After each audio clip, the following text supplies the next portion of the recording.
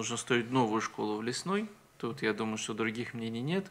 Я на другое хочу акцентировать, что с учетом отсутствия готового привязанного проекта, с учетом сложностей, которые есть с обеспечением водоснабжения в Лесной, потому что там не, не завершены эти работы, у нас э, строительство, э, к сожалению, затянется на несколько лет.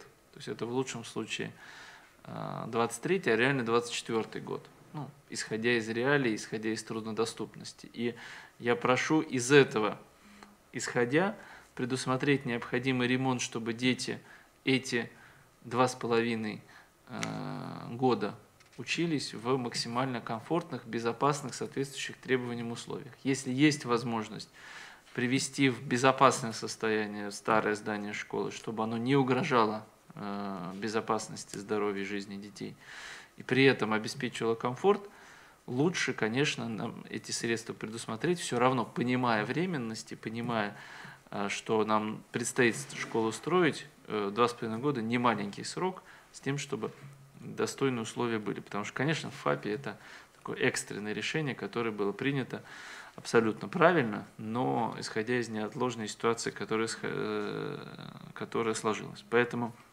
я здесь тоже прошу эту работу вместе с Минстроем вести, максимально быстро определять проект, приступать к его привязке, к решению всех технических вопросов, в том числе с водоснабжением, там увязка потребуется, и э, смотреть тоже по финансированию. Безусловно, это главная задача, но, наверное, этот объект будет у нас э, в числе э, первоочередных.